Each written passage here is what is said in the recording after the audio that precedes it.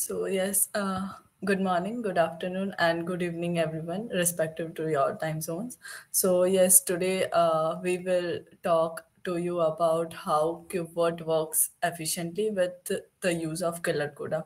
So before that, a quick introduction of myself. I am Meha Bhalodiya. I am pursuing uh, BE in computer engineering and I am a final year student and also I am working as in software quality engineering intern at Red Hat. And now I would like to request to Adam to give a brief intro. Cool. Thanks, Meha. Um, yeah, I'm Adam Gardner. I work in the OSPO, um, the Open Source Program Office at Dynatrace.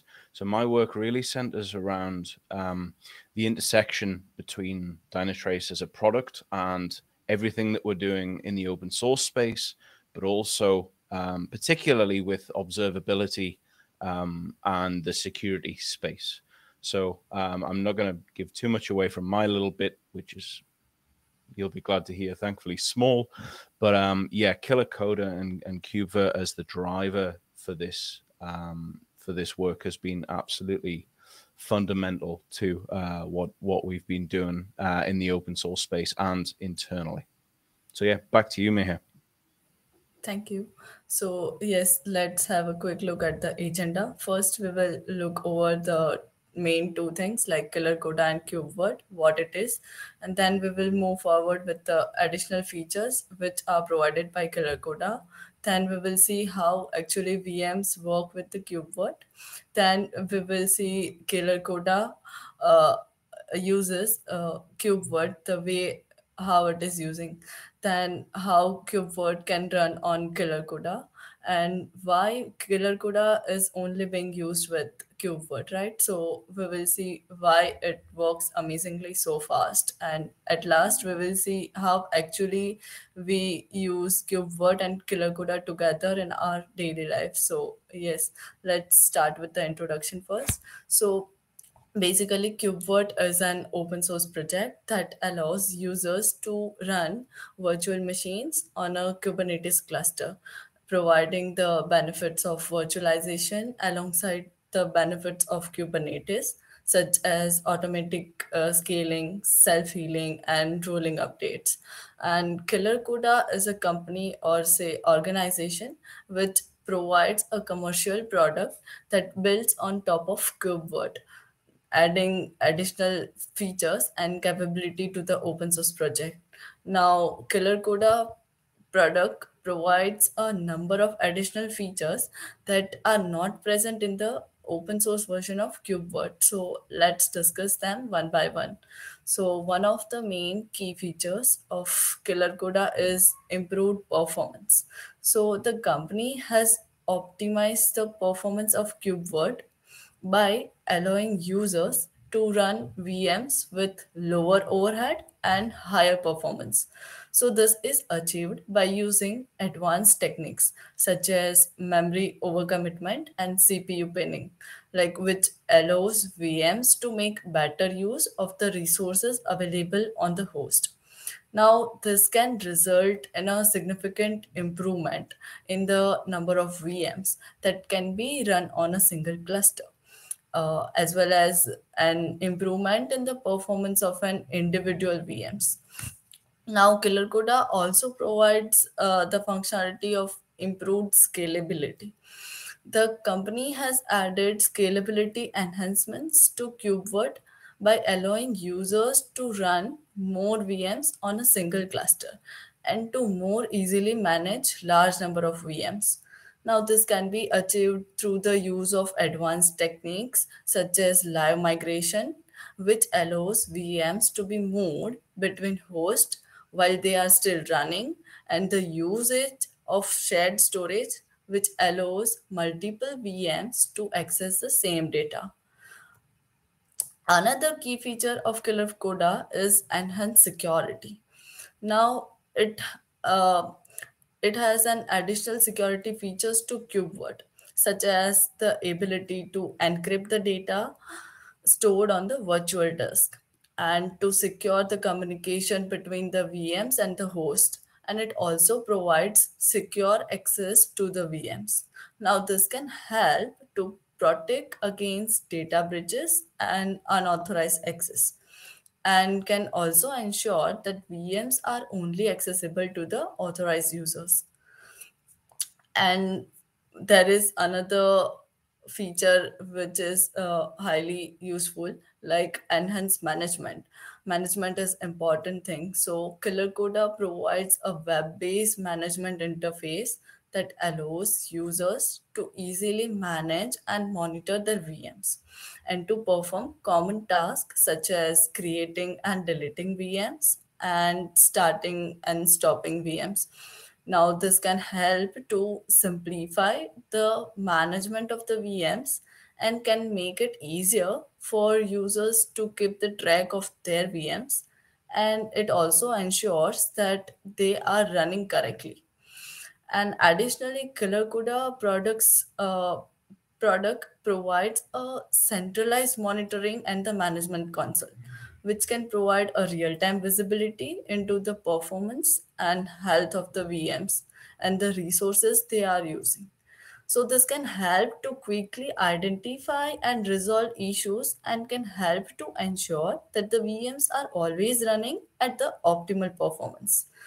So now last uh, feature is um, Killercoda provides the advanced networking feature, now which includes the firewalls, load balancers, and VPNs that are not present in the open source version of KubeVirt, right? So these features can help to improve the security and performance of the network and can make it easier for users to connect VMs to other resources such as databases and other VMs. Now, with Killercoda, users can create custom virtual networks, use firewalls and load balancers, and even establish VPN connections between VMs and the other resources. So, after all, uh, summarizing all the functionality, Killercoda's product extends the capabilities of KubeVirt by adding performance, optimization, security enhancements, scalability improvements, enhanced management, and advanced networking features. Now, these enhancements make it easier for customers to run and manage their VMs on top of the Kubernetes. Now, after looking at the advanced features, now we actually uh, have a look at uh, how VMs work with KubeVirt, right? So, KubeVirt provides uh, Kubernetes resources like virtual machine instance. Creating this resource will then cause a pod and connected VM to be created automatically. Now, this is amazing because it means we can create VMs like normal pods. But how does this even work? Because let's imagine we have a VMs. On this, we install Kubernetes. Inside Kubernetes, we install KubeVirt. Where will KubeVirt then create the new VMs, treat like pods? Now let's have a look at the following image. Now in the image, we see a one node Kubernetes cluster. Pod 1 and Pod 2 are normal pods. Pod 3 and Pod 4 are the KubeVirt pods. Now VM Pod 3 and VM Pod 4 are nested VMs and the KubeVirt will communicate with KVM to create this. KubeVirt needs hardware virtualization support. This way, it's possible to create nested VMs on a VM. Nested virtualization is possible on most dedicated servers and also cloud providers like GCP. So after uh, overview of the KubeVirt working, let's see how it is uh, Killercoda use that thing KubeVirt. Okay, so a custom Killercoda operator, which is written in Golang, communicates with the KubeVirt through the normal Kubernetes way by creating and deleting resources inside the cluster. Now, if you open up, for example, the Ubuntu playground, uh, let's have a look. This is the Ubuntu playground, right? Which I have linked. So yes, what it does is like it's a, a request will be sent to the Kubernetes cluster near your location. And inside that, Kubernetes clusters run KubeVirt together with the with the custom applications, right? So the Killercoda operator receives a request like new Ubuntu VM and creates a new virtual machine instance resource. Now this resource is available once KubeVirt is installed. This will make KubeVirt create a nested VM. Now when the user closes the browser tab, the connection abort is sent to the Killercoda operator, which simply deletes the virtual machine instance resource. This will cause KubeVirt to actually delete all underlying resources and the nested VM. Now, uh, everybody will be thinking like how KubeVirt can run on Killercoda, right? So as we have seen here, this image says all. What it says, it says KubeVirt runs on Killercoda, Killercoda runs on KubeVirt. Now the answer is relatively simple. Killercoda provides completely isolated VMs. Generally, it doesn't matter if you take a GCP, AWS, or Killercoda VM. You just install, for example, K3s on it and then KubeVirt. But on Killercoda VMs, nested virtualization isn't supported. For these cases, KubeVirt provides software simulation, which is great for testing, but probably uh, too slow for production usage. You can have a look at the software simulation. Um, it uses the QEMU, but uh, for uh, depth understanding, you can follow along this document, right? We can get back to our slides. So this was the basic overview, like how it is running on Killercoda. Now, why uh, Killercoda is only put it between this KubeVirt?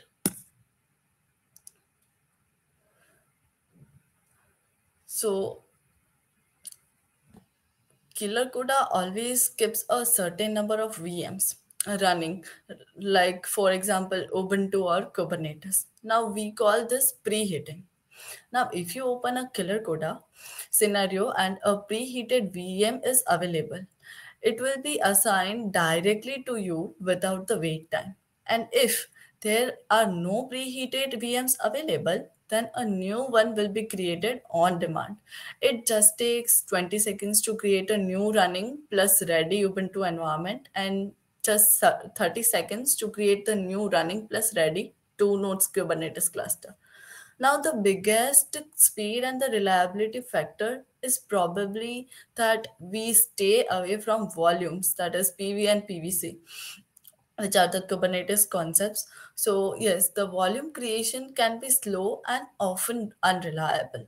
But if you need to create and delete thousands of VMs in short time, you need to get rid of any troublemaking components. Now, KubeVirt works very well together with the CDI. What is CDI? Uh, like it is containerized data importer. And if you start your journey, you should definitely use it. Now it will probably also work great in your production use case, but on Killercoda, uh, they have decided not to use CDI or volumes at all because uh, they are using uh, the customized KubeVirt version for that. Now for speed and the deeper integration, uh, they maintain a customized KubeVirt version. Now among all other things, this customized version allows us to create the VPNs between the VMs. This is, for example, necessary in multi-node environments like the Kubernetes playground. Uh, we can uh, have a look at it once.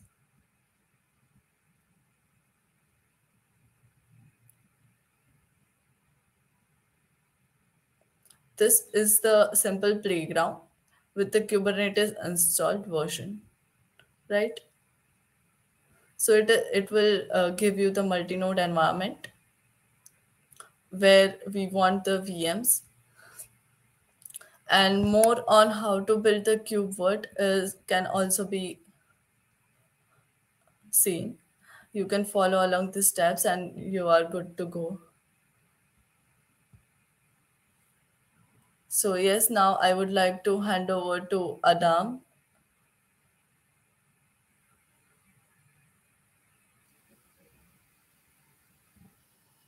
Thanks, Meha. If you uh, stop sharing, I'll share my screen.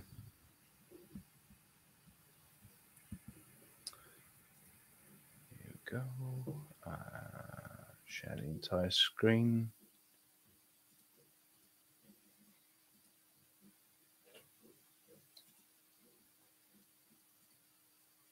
Okay, just give me a thumbs up if you can see that. You'll be getting Inception at the moment, but has anyone got my screen yet? Yes, we can see your screen. Cool. Alrighty.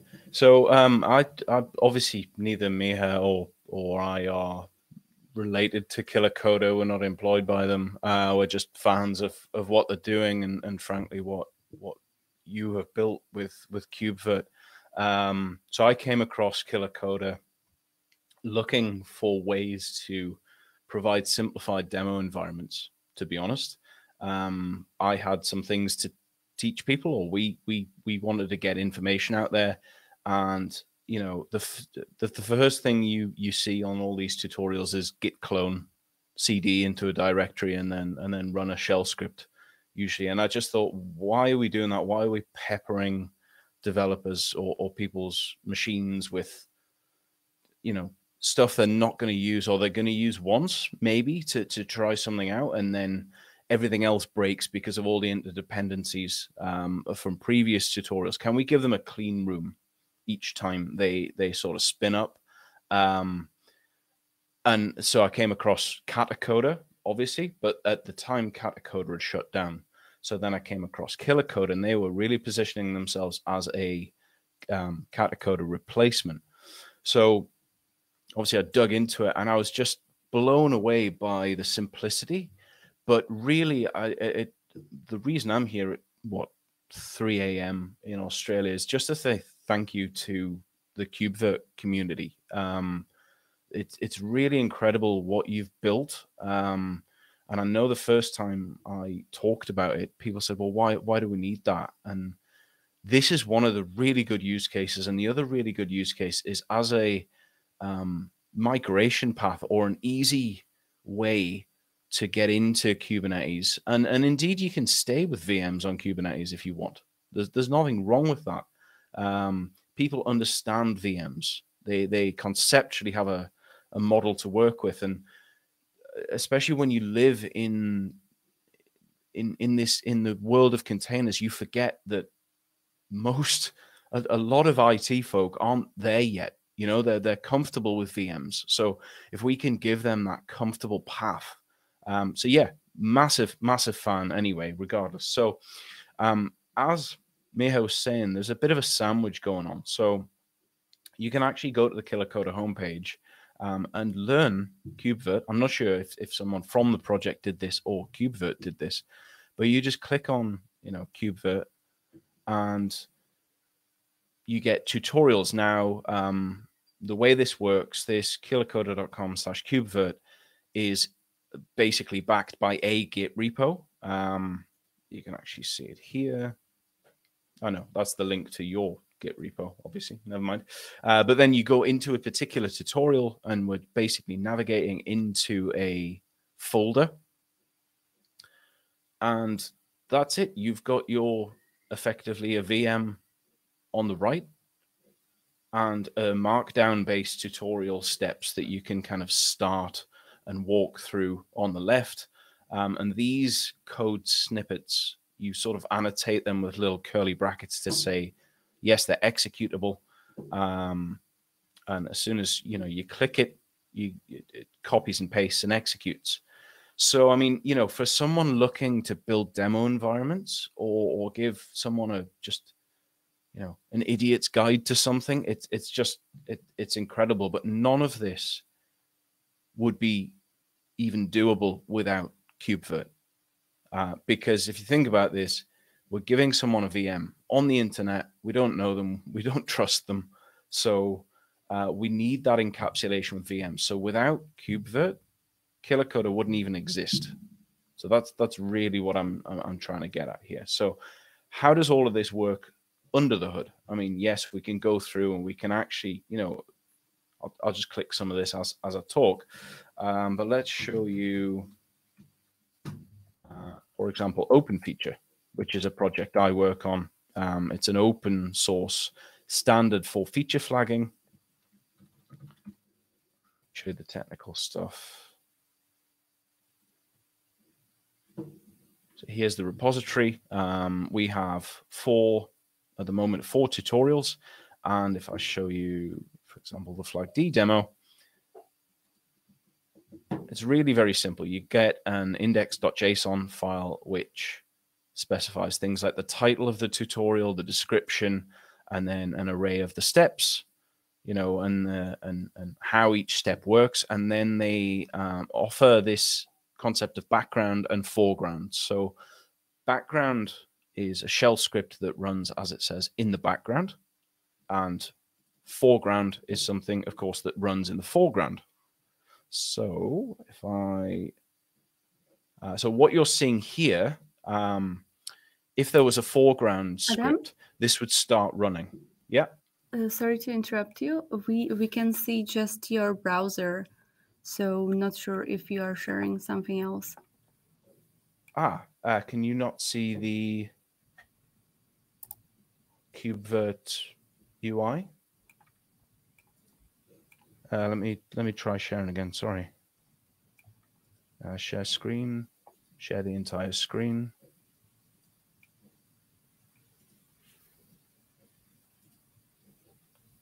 So if I if I share that, what do you see right now? Yes, now we can see it. Okay, and if I flick across, Mhm. do you see a JSON file? Yes, Awesome. Sorry about that. So no worries. More, uh, very quick recap of that. This is the markdown on the left-hand side. Um, it's a tutorial that you can step through, and it has the executable executable code snippets that uh, I was talking about. So um, on the right, obviously, is the terminal. That is a VM that is running on uh, let me get this right. It's a VM running on Kubernetes, which is running actually on top of that is running KubeVirt. You can install KubeVirt on the VM that is running inside. You know, it's kind of layers and layers of KubeVirt going on here. It's it's pretty clever. Um, the way this all works. So if I flick to the JSON, just someone say yes, they can see that.